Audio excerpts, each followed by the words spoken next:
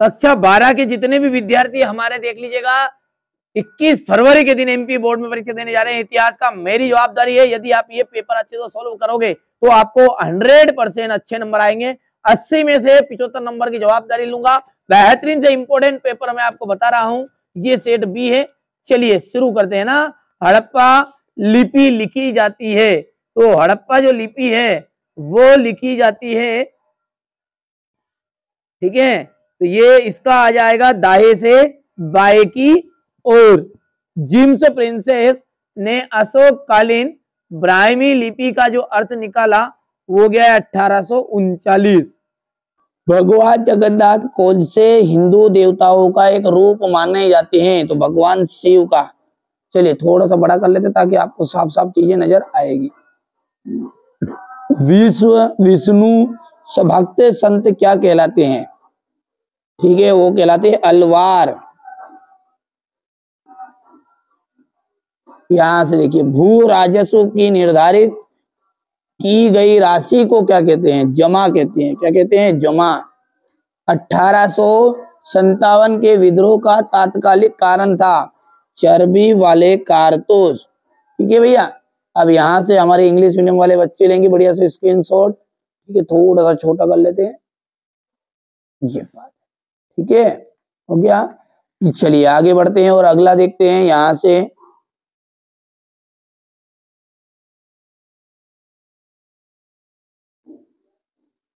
हो गया?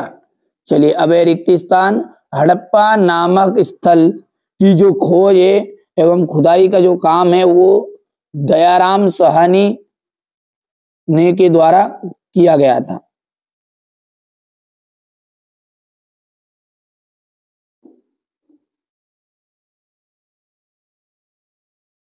कई कई पुरातात्विक विदों का मानना है कि हाजा पक्षी मोर था। कुरु जमा जनपद की राजधानी इंद्रप्रस्थ थी।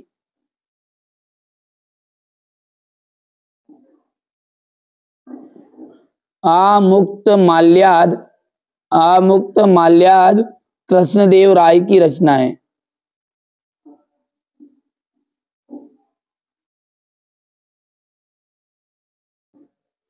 गांधी जी के राजनीतिक गुरु। गांधी जी के जो राजनीतिक गुरु थे, वो थे गोपाल कृष्ण गोखले।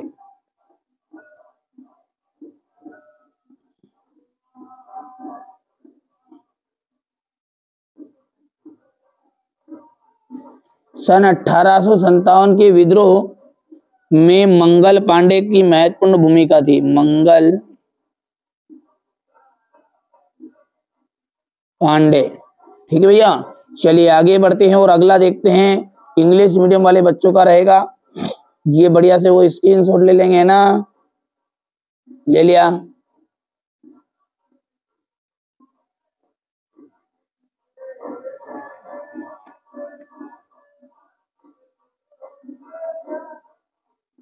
अब ले ली। ठीक है? चलिए, कालीबंगा। कालीबंगा का आपका जाएगा राजस्थान। बुद्ध के प्रिय शिष्य, बुद्ध के जो प्रिय शिष्य है, वो आ जाएगा आनंद।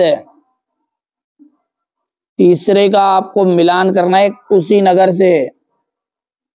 विजय नगर की जो स्थापना है, वो 1336 में हुई थी। सती संथाल विद्रोह 1855 से 1856 ईस्वी तक।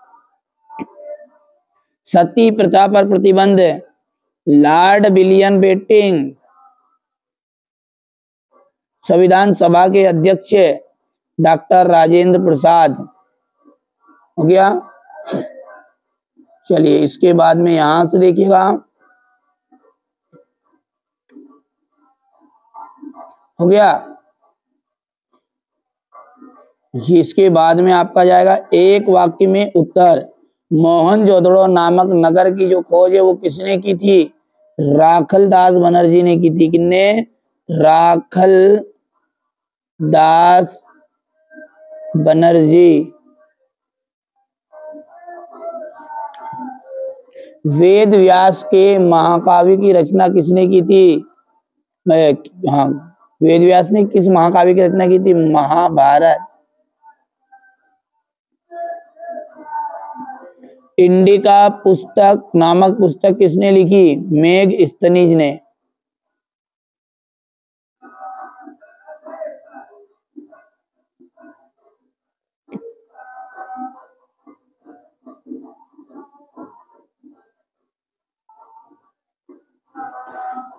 खालसा पंथ की स्थापना किसने की? गुरु गोविंद सिंह ने।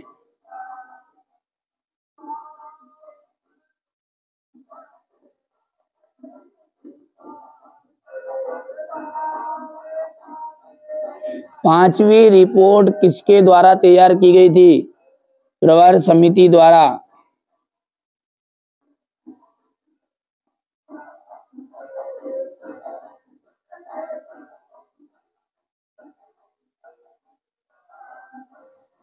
कांग्रेस के लाहौर अधिवेशन के अध्यक्ष कौन थे? जवाहरलाल नेहरू।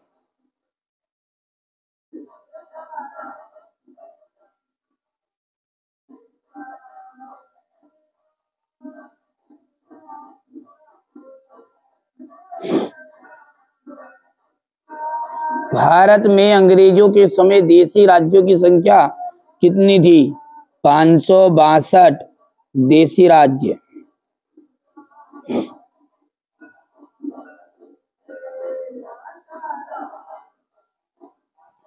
ठीक है भैया, चलिए इसके बाद में आगे बढ़ते हैं। चलिए आगे बढ़ते हैं और अगला देखते हैं। इंग्लिश मीडियम वाले बच्चों का तो यहाँ से बढ़िया से कंप्लीट कर लेंगे और यहाँ पर देखिए हड़प्पा सभ्यता का सबसे पहले खोजा गया शहर लोथल था क्या? ठीक है तो ये आपका असत्य रहेगा। असत्य रहेगा। क्यों क्यों रहेगा असत्य? उसका कारण है, मैंने थोड़ा सा देख लिया। मोहन जोदड़ो। क्या जोड़ खोदा था पहला? मोहन जोदड़ो सबसे पहला स्थल था। क्या था? लोथल नहीं था, वो क्या था? मोहन जोदड़ो पहला स्थल था। ठीक है धर्म शास्त्रों के में पाँच प्रकार के विवाहों का वर्णन किया गया है। असत्य है।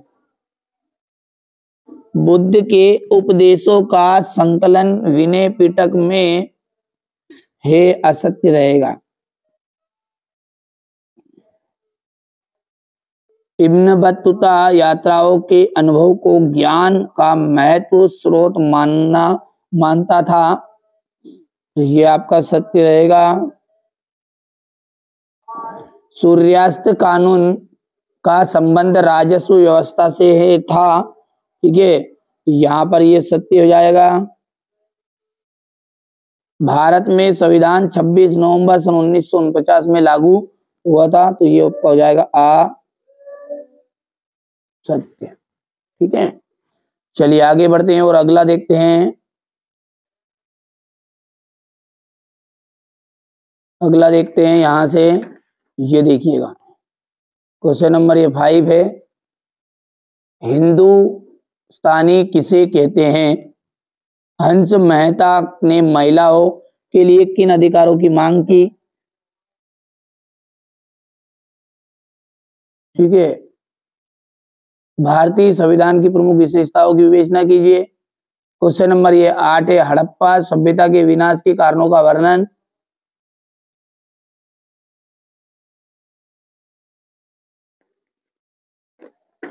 ठीक है?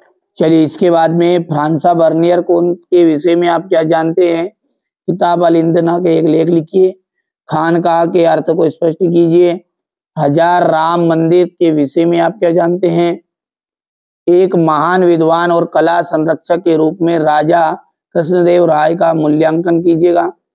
ये क्वेश्चन नंबर आपका बारह है। ठीक है, पाही काश्तकार किसान कौन थे? पहाड़िया कौन थे? ठीक है आप तो बढ़िया से कंप्लीट करो, यही प्रश्न आपको परीक्षा में देखने को मिलेंगे। मैं आपको है ना, शुरुआत में ही बोल दिया वीडियो के शुरुआत में कि यदि आप अच्छे नंबर प्राप्त करना चाहते हो तो छह पेपर प्रोवाइड कराऊँगा।